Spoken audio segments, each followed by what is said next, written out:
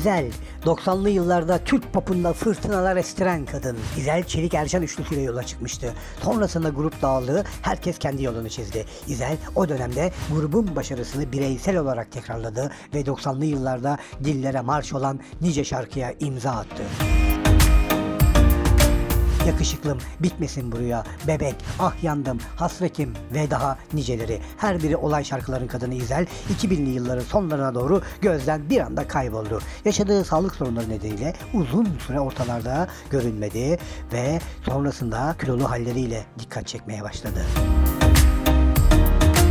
Kayıp yıllarında evine kapanmıştı. Fiziksel ve psikolojik sıkıntılar yaşıyordu ama o pes etmedi. Azmetti, yeniden zayıfladı. Eski günlerine dönmeye kararlıydı ve bir ara başardı da.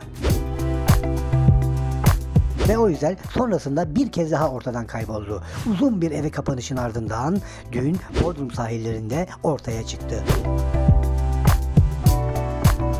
Puantiyeli mayosu üzerinde bir başına Bodrum sularındaydı İzel. Biraz kilolanmıştı ama normal değil mi? 52 yaşındaydı artık. Pandemi döneminde kim kilo almamıştı ki o almasın. Uzun süre bir başına yüzdü İzel sularda. Zaman zaman titredi ama sudan da çıkmak bilmedi. Ta ki dudakları soğuktan morarana dek.